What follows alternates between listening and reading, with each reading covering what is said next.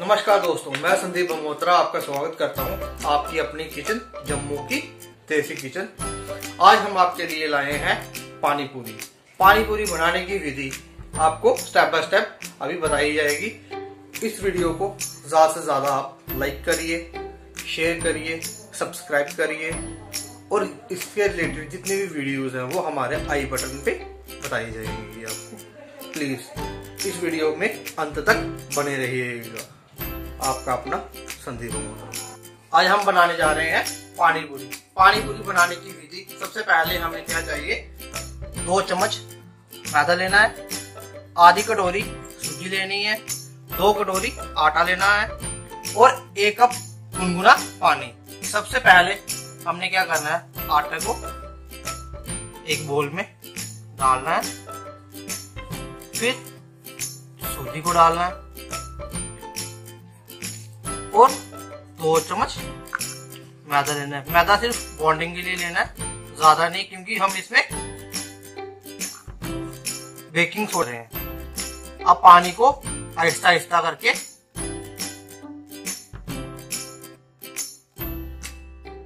हमने डालना है। थोड़ा थोड़ा करके डालना है, क्योंकि आटे को सख्त गूंदना है।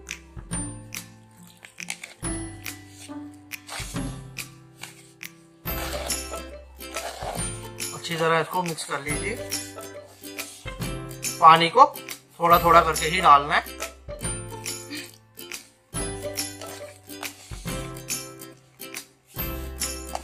तो हमारा आटा घून के लगभग तैयार हो चुका है। तो सख्त सख्त होना चाहिए, ज़्यादा नरम नहीं होना चाहिए। अब इसको हम क्या करेंगे? अच्छी तरह से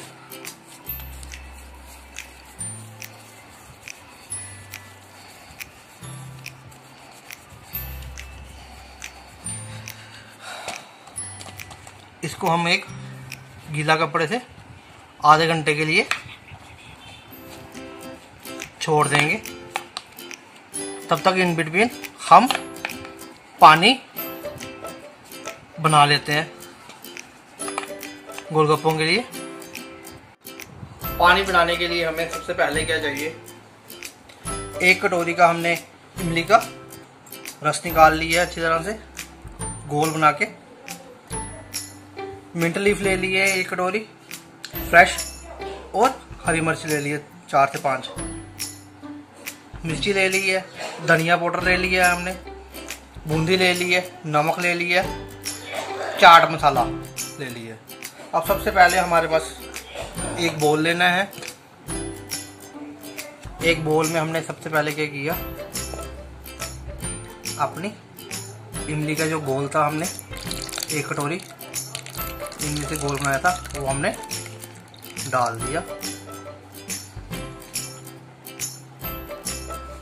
अब हमने सबसे पहले क्या करना है इनको अच्छी तरह से ग्राइंड कर लेना है। हमने ये मिर्ची को डाल दिया। तीखा आप अपने हिसाब से डाल सकते हो, कितना तीखा हमने थोड़ा ज़्यादा चाहिए था हमने। अब ये पुदीने को मिंट लीफ को सारा का सारा हमने डालना है और इसको अच्छी तरह से ग्राइंड कर लेना है। और चार मसाला और साथ में इसमें थोड़ा सा भुना हुआ जीरा था, वो भी हमने डाल दिया। स्वाद अनुसार थोड़ा सा नमक डाल लिया, बाकी बाद में डालेंगे। अब हमने इसको अच्छी तरह से ग्राइंड कर लेना है। बारीक बिल्कुल। पहले झटका देंगे एक से। थोड़ा सा और। देखो, थोड़ी देर के लिए चलाएँगे एक मिनट के लिए। देखिए हमारे मिंट लीफ का और मिर्ची का पेस्ट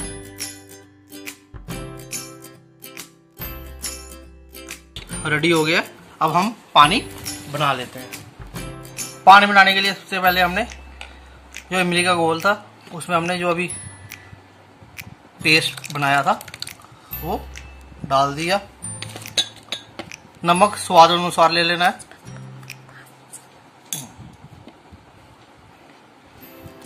मिर्ची डाल दी थोड़ी सी। दो चम्मच। और सौंफ पाउडर डाल दिया। लॉकडाउन के चलते हमारे पास धनिया की थोड़ी शॉर्टेज थी। हमने धनिया पाउडर का प्रयोग किया है। दो चम्मच। मिक्स कर लेते हैं। देखिए।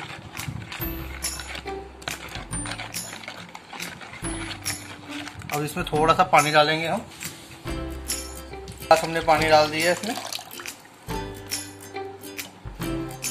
देखिए हमारा एकदम बढ़िया तीखा मसालेदार पानी तैयार हो चुका। है? अब लास्ट में हम थोड़ा सा इसमें बूंदी डालेंगे।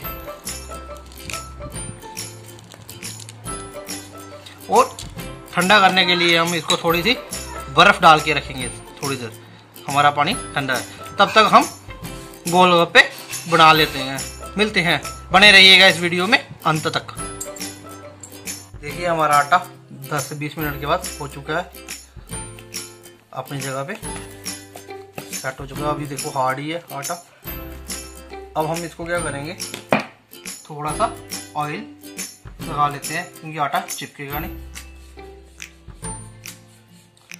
आप गोल करना चाहो, गोल बना सकते हो। जैसा भी लेना चाहो थोड़ा सा हाथ को लगा लेते हैं। जैसे एक चपाती बनाते हैं, वैसे उसी ढंग से बनाना है हमने। बस उससे थोड़ा सा पतला बनाना है।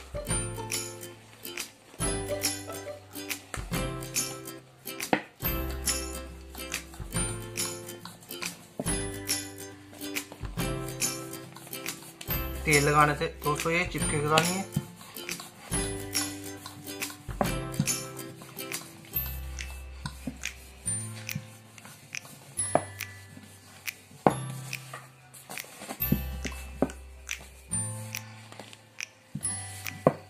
ज़रूरी नहीं है कि ये आप गोल बनाओ, जैसे भी है, उस ढंग से आप इसको बना सकते बन चुके हैं। हम अब काटने के लिए हमने इसका प्रयोग किया। छोटे छोटे हिस्सों में इसको। आप चाहे तो अगर बड़ा बनाना चाहते हो तो थोड़ा सा। बड़े वाले कटर का प्रयोग कर सकते हो। थोड़ा सा घुमा लो काटने के बाद। इससे जल्दी आ जाता है। अब दोस्तों, इसको आटे को फेंकने की ज़रूरत नहीं है। ये बाद में भी काम आएगा। अब ये जो थे, इनको एक गीले कपड़े पे निकाल के रख देना है, ताकि हमारा जो पूड़ियाँ थी छोटी छोटी ये अच्छे ढंग से मॉइस्ट रहे। नहीं तो ऐसे सूख जाएँगे। इतनी देर में हम कढ़ाई में तेल को रखते हैं और गरम कर लेते हैं। इसी तरह से बाकी का भी आटों को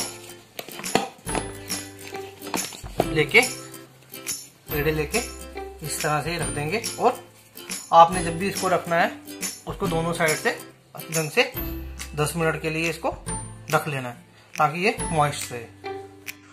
तेल हमारा गर्म हो चुका है। अब हम इसमें सबसे पहले क्या करेंगे? पानी पूरी का, जो हमने छोटी पूड़ी बनाई थी, उसको डालेंगे और ऊपर से हल्का हल्का थपथपाएँगे थपथपाने से इसमें देखिए, इस तरह से वाले हमने दो अलग अलग डंके लिए हुए हैं, छोटे बच्चों के लिए और बड़े अपने लिए। थोड़ा इसमें साइज़ थोड़ा हमने बड़ा रखा है।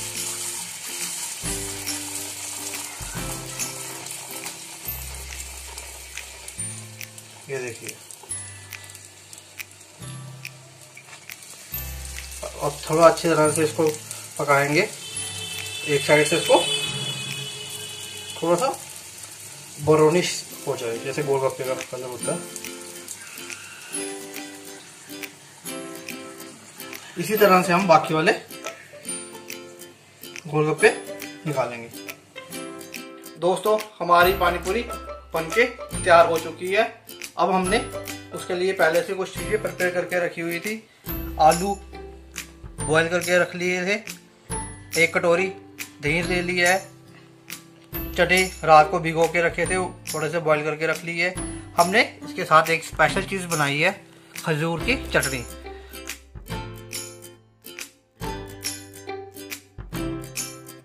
मीठी।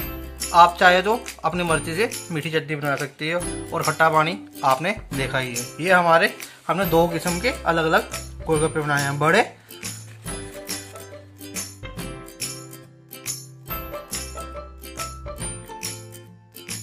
और छोटे साइज़।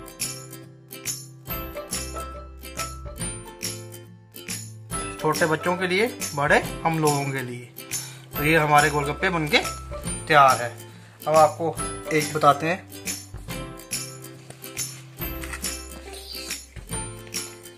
थोड़े से चने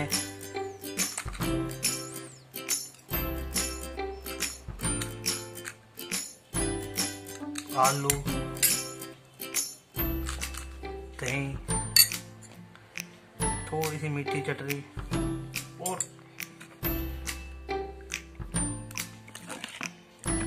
ये हमने फ्रिज में रखी थी, ठंडा करने के लिए, और पानी। ये हमारा गोलगप्पा तैयार हो चुका